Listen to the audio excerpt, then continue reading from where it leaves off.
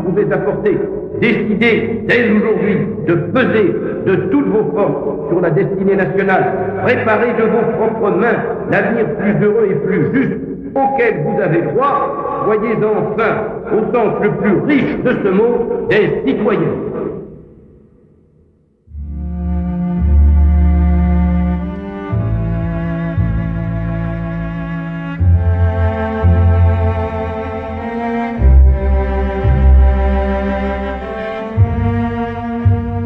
Que De Gaulle ne fut gaulliste ou que Marx n'était marxiste, Pierre Mendès France, fils de la Révolution française, du jacobinisme et de l'école laïque, hostile à la personnalisation du pouvoir, ne pouvait être mendéciste. Singulier destin, sans doute parmi les plus exceptionnels de son temps. Il a peu, très peu gouverné. Ministre seulement trois fois et président du Conseil sept mois et dix-sept jours. Mais l'autorité intellectuelle et morale, l'influence nationale et le rayonnement international ne se mesurent heureusement pas à l'aune de la longévité gouvernementale. C'est un cheval qu'on n'attelle pas, disait De Gaulle. Trop étrange et atypique pour les uns, trop intransigeant, inflexible pour les autres. En fait, et paradoxalement, l'aventure Mendessis s'est bâtie à partir de quelques données très simples. Un gouvernement que l'histoire transformera en expérience. Une parenté de dessin avec le général de Gaulle. Un engagement à gauche. Une volonté de servir au pouvoir comme en dehors du pouvoir. Une action assortie d'une exigence morale. Et c'est peut-être cela, et seulement cela, qui explique la trace et la profondeur de l'empreinte laissée par Pierre Mendès France. Juin 1954. L'espoir surgissait pour un pays encore appauvri par la guerre mondiale, pour une France à la recherche d'un prestige international perdu, pour une classe politique disqualifiée et un régime aux abois. Il avait nom Pierre Mendès France. Paralysé par la toute-puissance des partis, par les combinaisons ministérielles et l'instabilité qui en résultent, la quatrième république s'est enlisée dans le bourbier indo-chinois.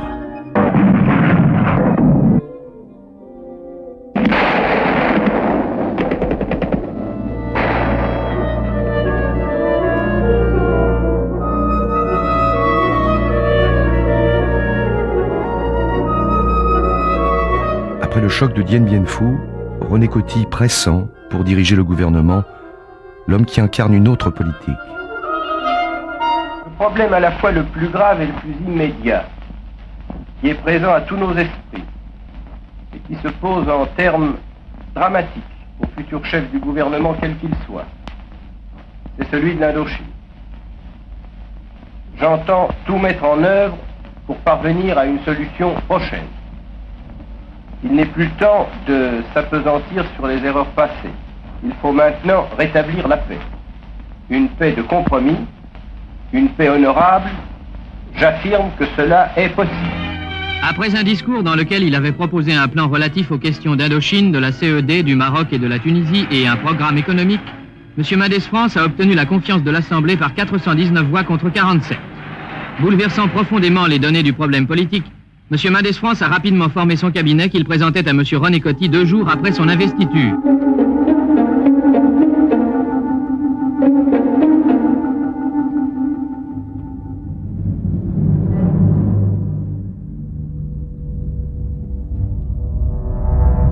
S'est distingué par quelque chose qui a totalement sidéré et surpris euh, l'Assemblée nationale, notamment en, ce 18 juin, par un sens de l'urgence, la fixation de calendrier, la fixation de délai, l'idée que l'on fait des paris et que l'on s'engage sur ce pari. Alors évidemment, le, discours du, 18 euh, juin et lui-même contient ça sur un des sujets clés, c'est-à-dire l'Indochine. Il dit, voilà, si le 20 juillet, mais le 20 juillet c'est un tout petit mois après, je ne peux pas venir vers vous avec la solution du problème, le problème de l'Indochine, eh bien alors à ce moment-là, euh, je, je m'en vais, je démissionnerai. C'est-à-dire que ça c'est un effet clé, puisque au fond, on a deux attitudes en général de la quatrième République, et on peut dire souvent des démocraties parlementaires en général. La première, c'est d'essayer de ne pas traiter les dossiers chauds et les dossiers brûlants, et la deuxième, évidemment, c'est de laisser le temps faire son œuvre avant de, traiter les choses. Et ça, ça bouscule les mœurs politiques et les mœurs parlementaires. Ce sera pour aujourd'hui ou ce ne sera jamais, déclarait M. Mendes France le 20 juillet. Cette fermeté devait avoir raison des derniers obstacles. Au jour de l'échéance, le cessez-le-feu en Indochine allait être proclamé. Au Palais des Nations, au cours d'une très sobre cérémonie, le général Delteil signait au nom de la France les documents mettant fin aux hostilités au Vietnam et au Laos. Au nom du Viet Minh, M. Ta Quang Bu les parapet à son tour. Cet accord, qui clôt sur un acte positif la conférence de Genève, est un éclatant succès personnel pour M. Mendes France, dont la ténacité a fait une profonde impression sur l'opinion mondiale. Certes, l'accord contraint la France à des sacrifices douloureux, mais pouvait-il l'être davantage que la perte des 92 000 combattants de l'Union française tombés dans cette guerre sans espoir? La raison et la paix l'ont emporté.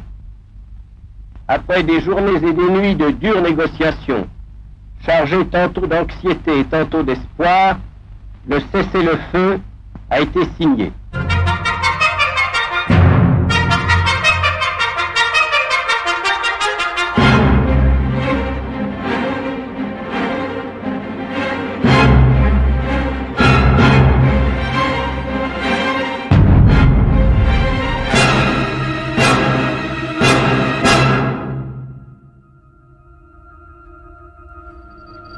C'est de Tunis que vous parviendra ce très court message. Au cours des dernières semaines, tandis que je m'efforçais de mettre fin à une guerre atroce, je pensais que tout près de chez nous, depuis des mois et des mois, le sang coulait. Le sang de Français et de Tunisiens, unis cependant par un long passé, mais séparés maintenant par d'inadmissibles malentendus. Il fallait donc agir. Il fallait faire cesser un désordre sanglant. Les solutions qui sont les seules possibles ont été élaborées patiemment, en même temps que se négociait l'armistice d'Indochine et pendant que se préparait le plan de redressement économique et de progrès social que l'Assemblée nationale discutera la semaine prochaine. Ce qui m'a le plus euh, frappé, c'est évidemment euh, euh, les affaires du calendrier. Moi, je, trouve que ça, c'est quelque chose de, de, tout à fait extraordinaire. On le disait tout à l'heure, le discours du 18 juin, je vais régler la question indochinoise d'ici le 20 juillet. Mais le 20 juillet, annonce-t-il ce jour-là, je vais vous proposer un grand plan de développement économique et social qui va permettre de redresser le pays.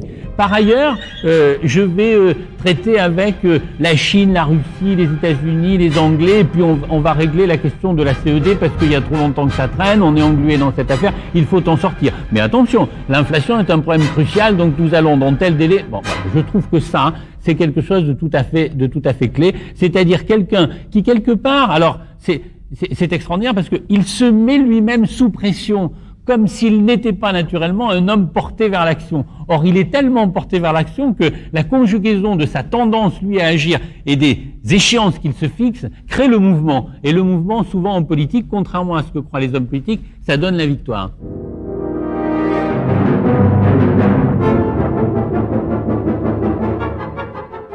Pierre Mendès France est présent sur tous les fronts. Outre l'autonomie interne accordée à la Tunisie, les accords de Londres et de Paris, les prémices de la réconciliation franco-allemande, c'est aussi le lancement de la recherche nucléaire, la création du ministère de la Jeunesse, ou encore la fin des privilèges des bouilleurs de cru ou la distribution de lait aux écoliers.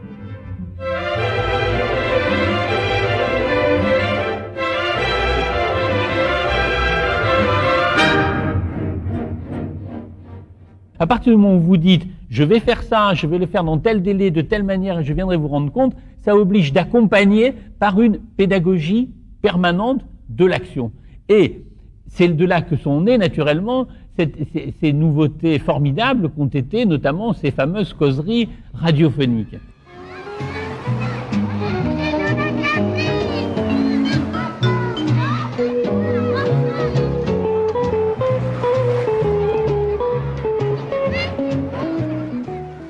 Cette première semaine d'août Beaucoup d'entre vous êtes en vacances. Vous ne m'en voudrez pas d'interrompre quelques instants cette période de détente pour vous parler de problèmes sérieux et qui, en vérité, vous intéressent tous. Depuis trop longtemps, nous sommes retardataires. Et cette opinion, il ne vient pas lui parler de ce que lui pense être les problèmes de la France. Il vient lui parler des préoccupations qui sont les siennes à cette opinion, et non pas pour lui dire je sais que vous êtes préoccupé de ça et je vais faire ce que vous demandez, pour lui dire je sais que c'est ça qui vous concerne et je vais vous dire comment on va le traiter. Mais les succès de Mendes France suscitent davantage le soulagement que l'adhésion d'une classe politique sclérosée ou méfiante, prête à se détourner de lui aux premières difficultés. La crise algérienne précipitera en février 1955 la chute du gouvernement.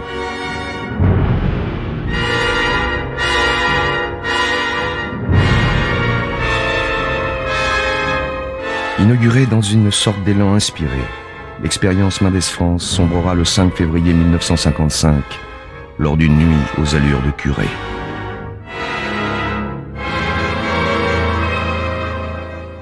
Monsieur le Président, quelques mots, s'il vous plaît. Ben, je... Pouvez-vous rester ici à cause de la caméra qui est là Je n'ai, je n'ai rien à dire euh, au moment où nous sommes. Je, ne cache pas mon émotion. Je ne cache pas non plus ma peine. Non pour moi, bien entendu. Mais parce que je crois que l'entreprise à laquelle s'était attaché le gouvernement que je présidais était bonne pour le pays et que je regrette qu'elle soit maintenant interrompue. Euh, en tout cas, je suis sûr que ce qui a été entrepris par ce gouvernement ne sera pas perdu. Je suis sûr que dans beaucoup de domaines, ce que nous avons commencé sera poursuivi et je souhaite de tout cœur que le gouvernement de demain, quelle que soit sa composition, et auquel je souhaite de réussir. Je souhaite de tout cœur que le gouvernement de demain poursuive ce que nous avons commencé, parce que ce que nous avons fait, c'était pour le bien du pays. Merci, Monsieur le Président.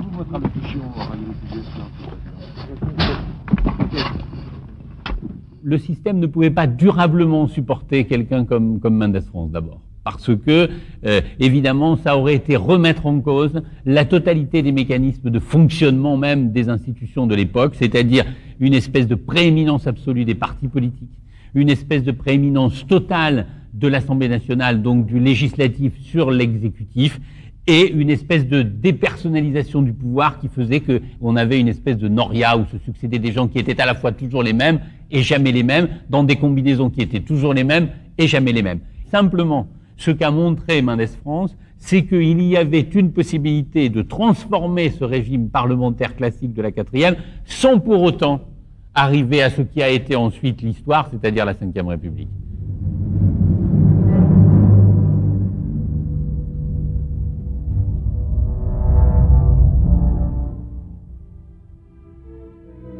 Cela restera l'une des grandes nostalgies françaises de la seconde moitié du XXe siècle que De Gaulle et Mendes France n'aient pas ensemble conduit les affaires du pays.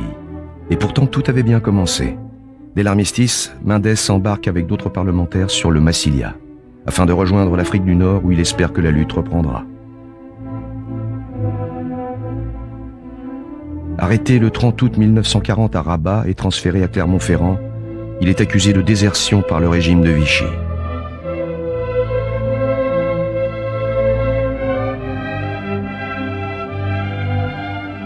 Après une parodie de procès, Pierre Mendès France s'évade.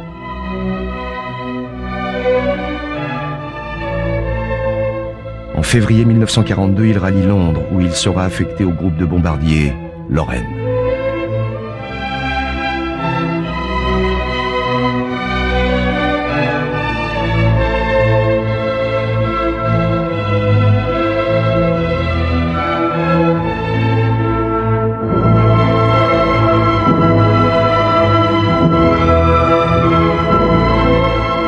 Novembre 1943, le général de Gaulle nomme Mendes France commissaire aux finances du Comité français de libération nationale à Alger. Faisant part au général de son désir de poursuivre le combat dans les forces aériennes, Il se voit répondre. Un soldat ne choisit pas son arme. En juin 44, Mendes France deviendra ministre de l'économie nationale du gouvernement provisoire dirigé par De Gaulle. Il en démissionnera en 1945 en désaccord sur la politique financière. Les deux routes ne se croiseront plus. C'est vrai que l'homme m'a toujours grandement impressionné. Je l'ai vu pour la première fois en 1942. À ce moment-là, il personnifiait sans aucun doute le combat pour la libération. Il était soldat. J'étais soldat moi-même sous ses ordres. Et je n'ai pas eu de problème de conscience. C'était une figure euh, qu'à mon avis, on ne pouvait pas ne pas suivre. Quand la patrie se trouve refoulée dans une extrémité telle qu'aucune compromission, aucune transaction n'est concevable, que serait-elle devenue si Jeanne d'Arc, si Danton, si Clémenceau avaient voulu transiger du désastre à la victoire la voie droite est le plus court, mais elle est aussi le plus sûr chemin. Ça a commencé pendant la guerre. Donc De Gaulle a été heureux de voir arriver un, jeune parlementaire qui avait montré déjà beaucoup d'initiatives, qui avait été arrêté, qui avait été, qui s'était évadé, qui avait rejoint la France libre. Donc il était heureux de le voir arriver. Et surtout, il a vu arriver un homme qui ne voulait pas bénéficier des avantages que pouvait donner sa position, mais qui voulait prendre part à la bataille.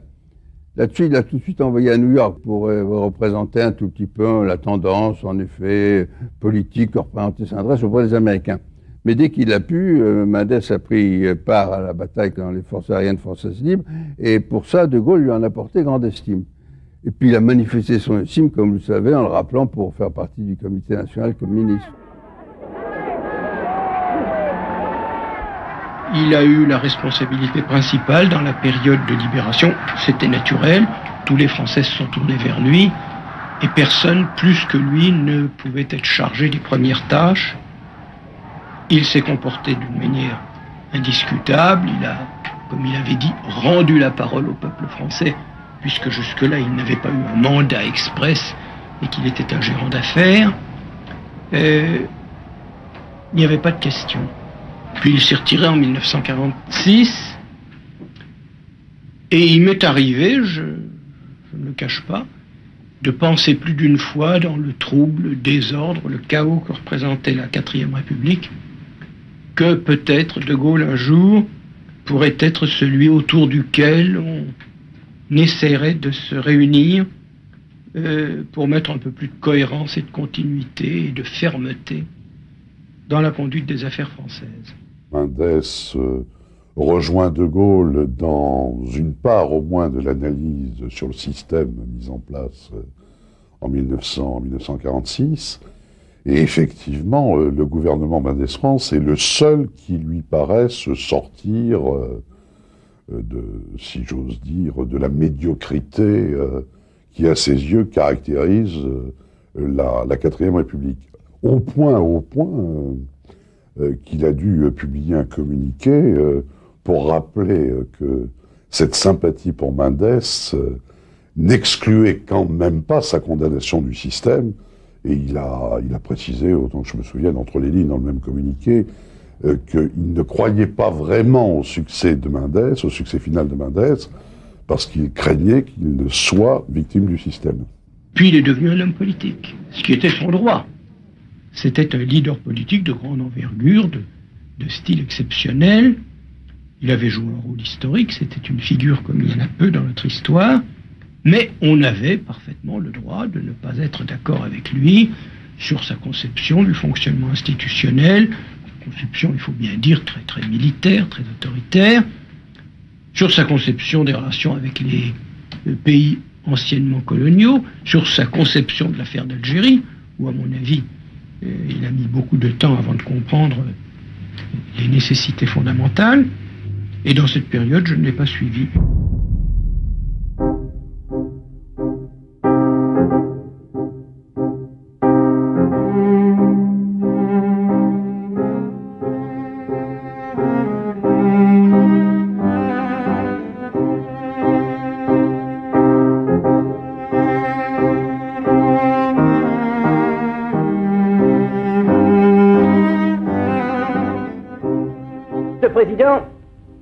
Il a des pouvoirs presque souverains. Il peut aller, on en a longuement débattu, jusqu'à promulguer légalement la dictature, au terme de l'article 16 du projet. On nous dit que le général de Gaulle n'est pas un fasciste. Lui-même a déclaré qu'il ne commencerait pas à 67 ans une carrière de dictateur. Mesdames et messieurs, on ne choisit pas une constitution selon l'âge du capitaine. Une constitution n'est pas faite pour un homme. Qui exercera demain ses pouvoirs considérables? De Gaulle Peut-être au début, mais après lui, nous ne le savons pas. Mendes était un parlementaire avant tout. C'était un homme qui était très attaché au régime parlementaire, au fonctionnement du régime parlementaire, etc. Au moment des événements de 58, il a pu imaginer que De Gaulle allait y mettre fin ou allait euh, euh, prendre le pouvoir de façon autoritaire. Et c'est pour ça que dès le début, dès, le, le, vote de la Constitution, il a pris position d'abord contre l'investiture de De Gaulle. Il a voté contre en juin 58. Et ensuite, au moment où De Gaulle a pris, euh, annoncé la Constitution, il a lui-même pris position, a participé à un défilé, etc., etc. Donc je crois que c'est cette crainte de voir le, le, régime euh, virer vers, vers un, une sorte de totalitarisme qui a, déclenché l'hostilité de, de, de Mendes France. Alors c'est vrai qu'on a privilégié la légalité, alors euh, que l'autre est plus adepte de la légitimité. Mais enfin, ils ont quand même tous les deux euh, une capacité à passer sur les corps intermédiaires pour prendre le pays à témoin euh, qui les rapproche incontestablement, de la même façon qu'ils sont les deux seuls à engager leur mandat sur la réussite de leur projet. C'est Mendes qui dit si si le, 20 juillet euh, l'Indochine n'est pas réglée, je m'en irai. Euh, et, c'est De Gaulle qui dit qu'il va de soi que si euh, on ne lui donne pas les moyens de la politique qu'il croit la bonne, il partira. Mais finalement, ils partagent, le même destin. Ils sont l'un et l'autre, en fait, rejetés par leur propre camp. Ils sont ailleurs, et dans un ailleurs, le service de la France, une certaine idée de l'État, euh, une grande probité, une volonté de faire passer en toutes circonstances l'intérêt général avant les intérêts particuliers, euh, qui les place sur le même terrain.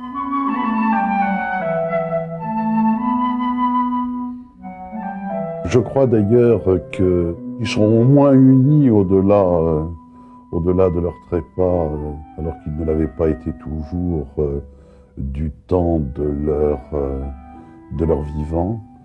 Euh, le leur message, à mon avis, est simple, il n'y a pas de déterminisme, rien n'est écrit. Euh, c'est aux hommes et aux femmes de, de construire leur destin.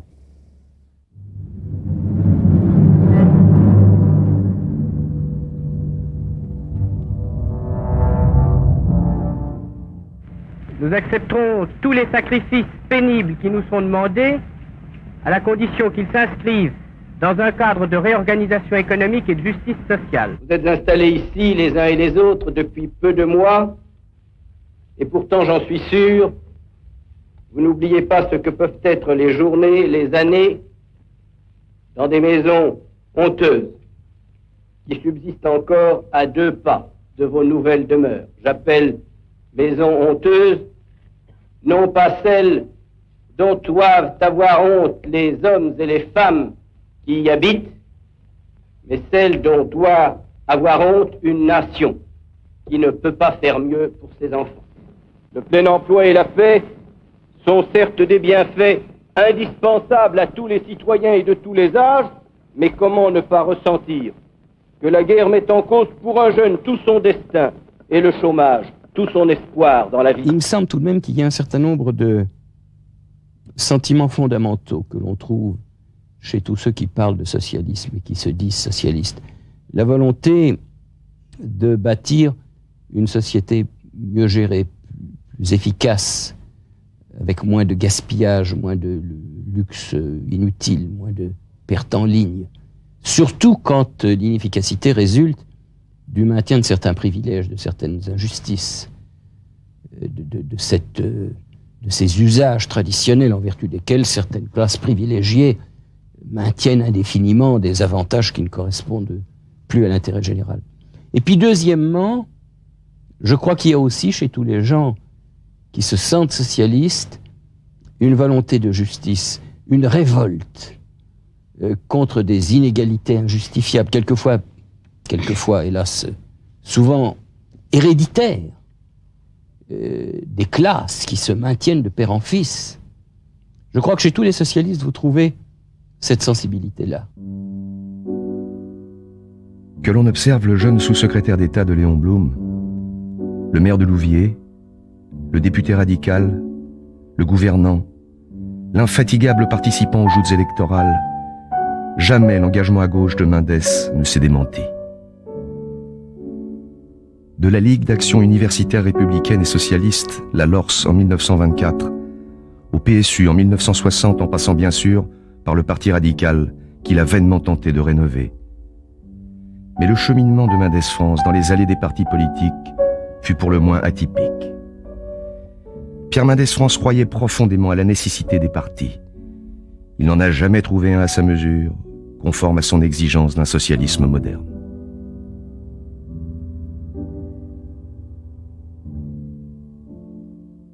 Il suscitait toutes les réserves possibles. Il était inclassable et il, était exemplaire. Alors c'est deux choses insupportables. Je veux dire, inclassable parce qu'il était inscrit chez les radicaux socialistes, mais enfin, Devant Édouard Herriot, il disait que ces trois mètres, ça avait été De Gaulle, Poincaré et Léon Blum. Il n'y avait pas un seul radical là-dedans. Ensuite, alors, chez les socialistes, l'immense, euh, disons, mépris que Mendes avait pour euh, à ce moment-là. Il y avait un langage d'extrême gauche et un comportement de centre droit. Là, ce, mépris était assez visible. Puis il y avait la troisième chose, c'était qu'il était l'économiste de la gauche. Et là, il y avait une distance qui était à la fois la distance de l'incompétence des autres et, disons, de, la hauteur de sa part. Euh, comment pouvait-on n'être pas économiste? C'était difficile dans le monde pareil.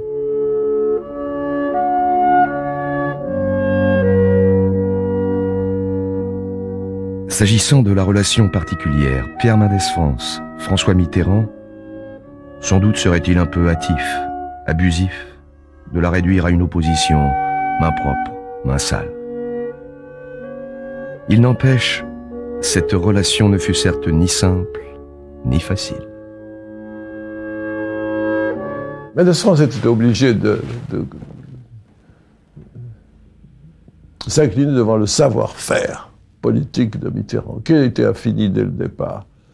Euh, l'ambition de, Mitterrand se mêlait toujours à une obsession d'être du bon côté.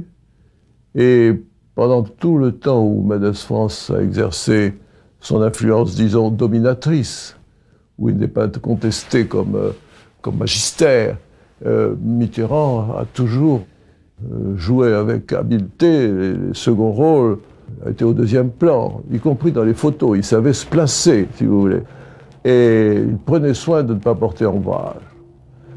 Mais en même temps, euh, dans ce savoir-faire si respectueux, si déférent, Madès voyait plus souvent que d'ordinaire euh, percer une ambition rivale. Mitterrand, à l'inverse, était agacé par l'image morale. C'est vrai que c'était extrêmement agaçant de voir cette statue du commandeur, à laquelle il prêtait beaucoup de faiblesse d'ailleurs, mais hélas, disait-il, ces faiblesses à lui sont secrètes. C'était vraiment les, opposés. Mais il y a une chose qui, compte dans mon souvenir, c'est que Madès France a toujours dit, au terme d'une conversation comme nous avons maintenant, après avoir détaillé, décliné plutôt tous les défauts de son disciple et ami, il disait, oui, mais il est le seul à pouvoir, euh, pouvoir euh, se frayer un chemin entre les communistes et les gaullistes. Parce que le grand problème, c'était ça. C'est tellement ça que quand euh, la candidature de François Mitterrand vient sur la scène, moi je vais voir euh, France, rue du conseiller Collignon, où il, où il tenait non pas salon mais cabinet, si vous voulez. Et je lui dis, vous savez, autour de moi, les gens ne sont pas pour Mitterrand. Il m'a dit, ils ont tort.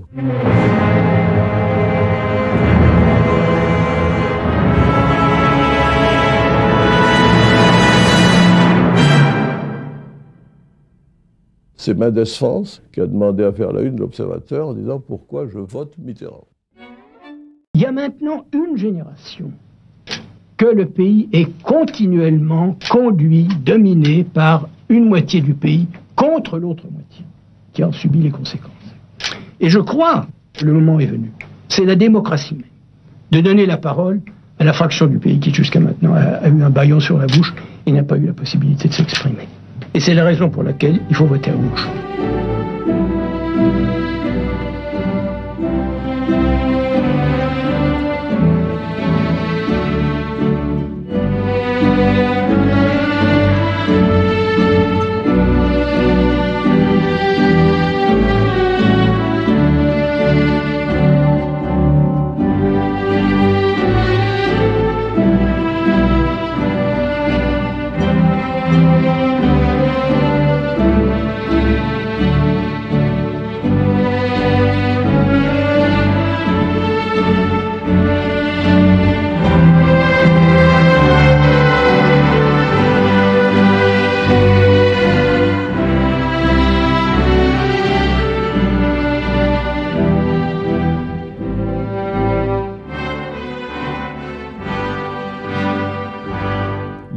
Que la gauche, euh, ce soit son tour d'émerger, euh, que ce soit son tour d'arriver aux affaires, qu'il ne soit plus frustré du pouvoir, surtout que Mendes France et Mitterrand partageaient une conviction, c'était que la France était un pays foncièrement à droite, que ce pays se laissait violer de temps en temps, deux ou trois ans, mais qu'en général, euh, un gouvernement de gauche était toujours renversé et que la continuité, le sens, l'essence de la France, c'était euh, d'être à droite.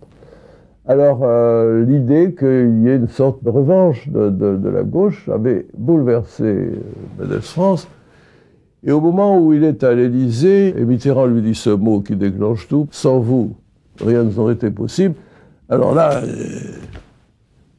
ce côté de sentimental ou de sensiblerie que la maladie autorise et facilite quelquefois, s'est débridé.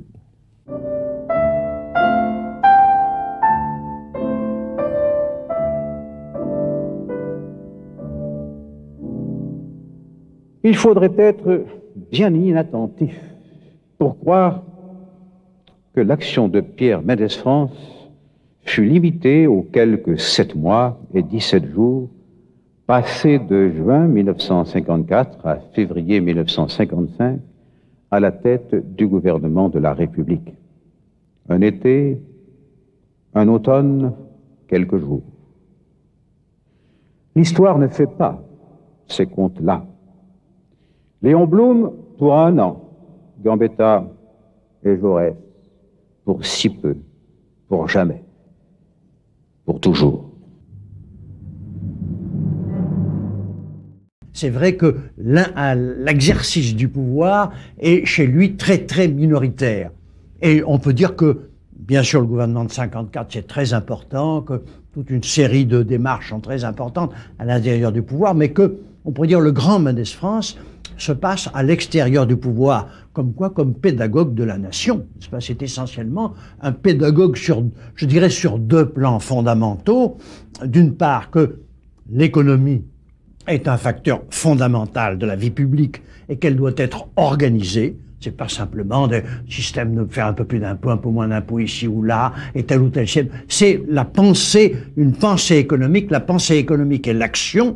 Le livre qu'il a publié, qu'il a écrit avec Gabriel Ardan, qui a été considéré par les grands euh, économistes anglo-saxons comme la meilleure interprétation possible de, de Keynes, John Maynard Keynes.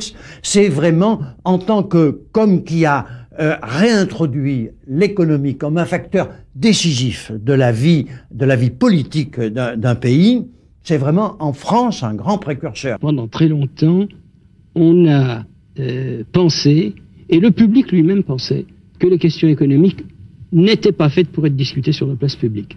On ne peut pas demander aux citoyens moyens de trancher en pareille, en pareille matière. Si on croit ça sincèrement, on n'a pas le droit d'être démocrate. On n'a pas le droit de fonder la vie publique sur des décisions de citoyens qu'on a déclarées incapables de comprendre. Si on est persuadé que seuls des gens qui ont une certaine formation, une certaine connaissance, une certaine intelligence, sont capables d'appréhender ces problèmes, alors il faut leur réserver la vie publique et il faut renoncer à la, démocratie. Si on croit à la démocratie, si on croit que le citoyen a le droit de participer à la détermination de son sort, il faut évidemment euh, qu'il soit capable de comprendre les problèmes qui se posent.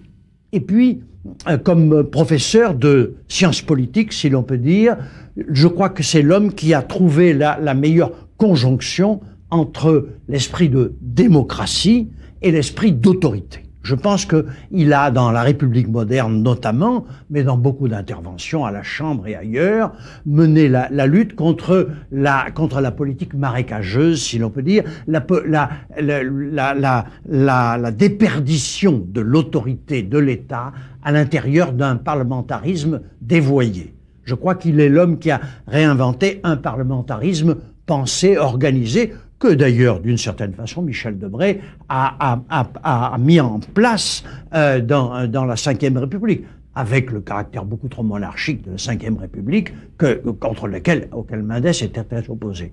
Mais je crois que Mendès France apparaîtra peut-être plus encore que comme homme de gouvernement, comme un grand pédagogue de la nation sur le plan de l'économie et sur le plan de l'organisation de l'État.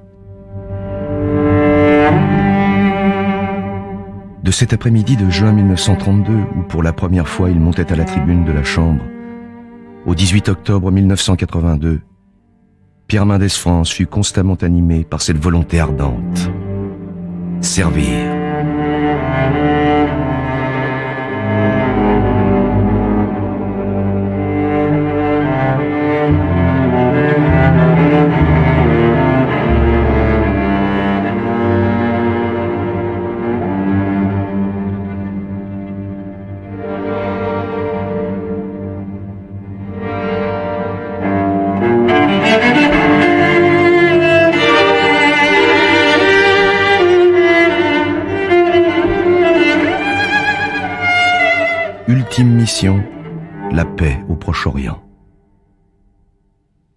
En tout cas été sûrement euh, le fondateur euh, du premier dialogue officiel euh, d'un parti officiel israélien qui était le Parti travailliste et de l'OLP, organisation officiellement représentant les Palestiniens, à partir des années 76, puisque c'est lui qui chapeaute les premières rencontres secrètes entre Lova Eliav, le secrétaire général du Parti travailliste, Issam Sartawi, le représentant personnel de Yasser Arafat.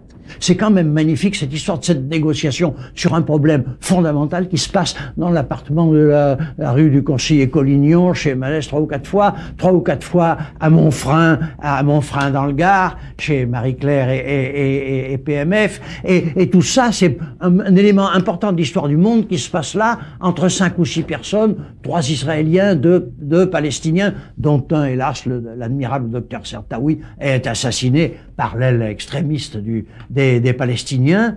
Mais enfin, il y a là quelque chose qui est, qui est très beau. Moi, je, je, je rêverais de reconstituer un jour les, ces conversations. Je pense qu'elles elles sont très, très importantes. Elles sont très importantes. Et à peu près tout a été dit à ce moment-là. Tout ce qui est, et tout le, tous les plans d'aujourd'hui, y compris le plan séoudien, est à l'intérieur de ces conversations de 1976. Le fait qu'il y ait un homme de cette trempe, je dirais, de ce prestige en faveur d'un dialogue direct était très important parce que n'oubliez pas qu'il a fallu 45 années pour qu'Israël reconnaisse l'existence d'un peuple palestinien. Ça n'a eu lieu qu'en 93, mais il est évident que le chemin qui a mené à cette lettre fameuse d'Ishaq Rabin reconnaissant l'existence d'un peuple, c'est Pierre Mendès France, Lova Eliav, Mati Peled et Issam Sartawi qui l'ont commencé et d'autres ont suivi leur chemin. Mais sur le plan, je dirais, officiel, c'est sûrement euh, la pierre fondatrice de ce qui deviendra la base de la solution. Ça veut dire la reconnaissance de deux peuples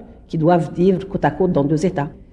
Mais enfin, l'admirable dans cette affaire, l'admirable, ce n'est pas que les Israéliens mettons de gauche ou pacifistes du genre de Lioba Eliav, par exemple, ou le général Peled est accepté Mendes comme arbitre. Bon, cela allait de soi. D'une certaine façon, Mendes était euh, pro-israélien, de gauche, etc.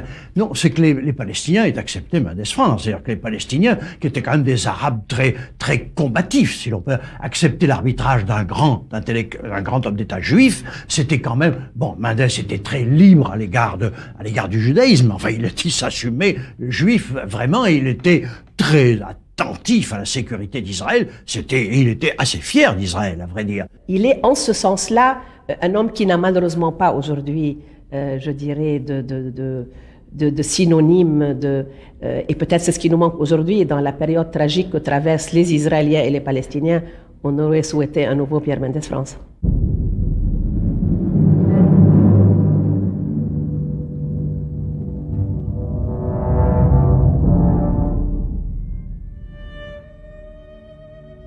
Dans la biographie qu'il lui a consacrée en 1981, Jean Lacouture souligne Pierre Mendès France aura témoigné que l'action politique n'est pas avilissante par nature, ni le pouvoir pervers par essence. Il y a des choses qu'on considérerait comme malhonnêtes dans les affaires, dans, dans, la vie personnelle ou familiale, et qui paraissent au contraire euh, assez bonnes en politique. La rouerie, le double jeu, l'ambiguïté, le mensonge, la démagogie. Très franchement, je ne comprends pas. Un principe auquel un homme doit être attaché, il doit y être attaché dans la totalité de ses activités. Quelle peut être la justification euh, de certaines actions qui seraient blâmées dans la vie personnelle d'un homme et qui seraient euh, profitables et, utiles, ou en tout cas excusables, dans la vie publique? Ça me paraît impensable. Je ne vois même pas que la question se pose. Il a concilié la politique et la morale aux yeux des électeurs, mais, mais lui-même n'avait pas à se poser ce problème. Il, le vivait à chaque instant. Ça se vit dans l'action et, et, devant les problèmes, les affaires, devant les affaires qu'il a résolues. Il a estimé que les convictions étaient essentielles, à la fois à l'égard de soi-même et à l'égard des Français qu'il aspirait à servir. Et, et de ce point de vue, je crois que l'on peut et que l'on doit, dans certains cas, euh, sacrifier euh, des activités ou des possibilités au respect de ses propres convictions. J'ai ressenti, lorsque j'étais jeune encore, disons, lycéen, ou en tout cas étudiant, euh, un certain nombre d'idées fondamentales, la justice, la justice entre les hommes, entre les classes, entre les nations, la paix, un certain nombre de choses simples élémentaire. Je, ne suis pas de ceux qui ont commencé par une doctrine. Peut-être j'ai réfléchi après au problème, peut-être je les ai approfondis. Mais euh, j'ai surtout été, je crois, mu à l'origine par euh, certaines foi, certaines convictions plus morales finalement que doctrinales. Mendès France était un profond républicain qui avait appris ce que c'est que la République, probablement dans ses origines familiales, et sa morale était républicaine. Avoir une morale républicaine, c'est avoir une véritable morale qui peut être faite de composantes multiples.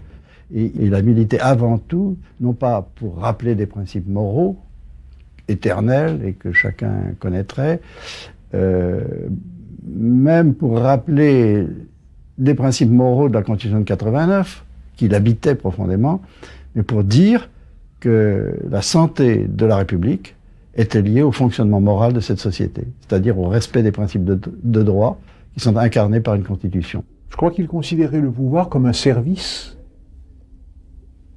Certes, il a aimé le pouvoir, euh, il a été très jeune euh, euh, au gouvernement, mais il ne recherchait pas le pouvoir pour le pouvoir.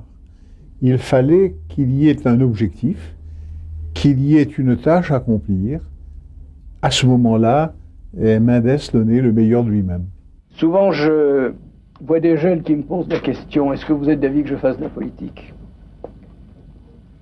Si pour eux, la politique, c'est gagner des sièges, des mandats, des galons, des Marocains, avoir de l'avancement, satisfaire des ambitions, je suis un mauvais juge car ça n'a jamais été ma ligne de conduite et par conséquent je ne suis pas bien placé pour donner un conseil.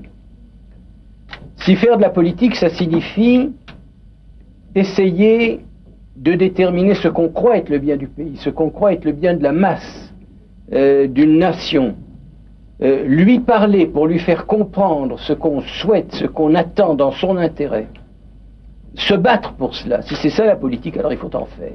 Tout le monde doit en faire. Tout citoyen, tout homme qui participe d'une manière ou d'une autre, à la vie collective, doit agir de cette manière. Il a montré à des jeunes générations qu'il y pouvait y avoir une morale en politique. Alors cette attitude de mauvaise conscience sert beaucoup. Parce qu'il y avait tout de même un recours. Chaque fois qu'il y avait une discussion cynique avec les gens revenus, blasés, comme il est bon d'avoir, euh, au bout d'un bon repas, on sait ce qu'en volonne, euh, blanc bonnet, bonnet blanc, enfin bref, tous les désenchantés de la politique, chaque fois, mais oui, oui mais il est là. Ah, il est là et voilà.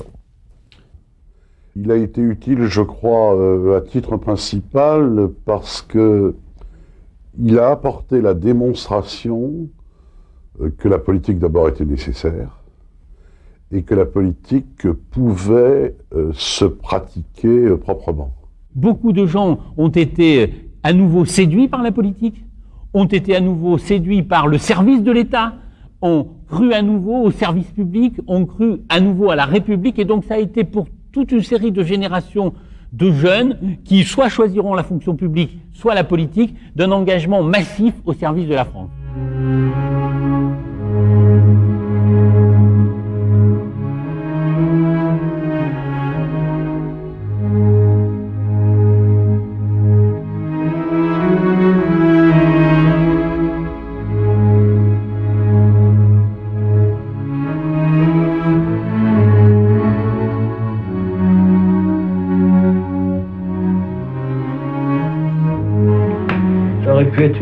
Aurait pu être plus. Je vous répète, je n'ai pas été parfait. Il m'est sûrement arrivé de faire des erreurs. Il m'est aussi sûrement arrivé de ne pas me comporter avec suffisamment d'habileté, comme nous disions tout à l'heure. C'est la vie, c'est la vie politique.